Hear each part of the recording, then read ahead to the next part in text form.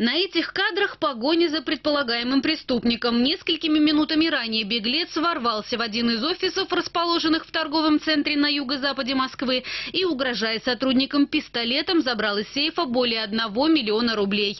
Поймать злоумышленника службе безопасности магазина самостоятельно не удалось. Мужчина оказал активное сопротивление.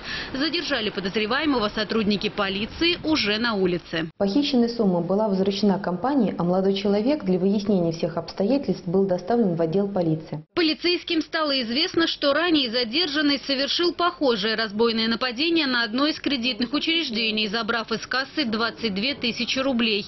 В обоих случаях мужчина надевал полосатые перчатки и медицинскую маску, считая их своим оберегом. Именно по этим атрибутам и удалось доказать его причастность к ранее совершенному разбою. За что вы задержаны сотрудниками полиции?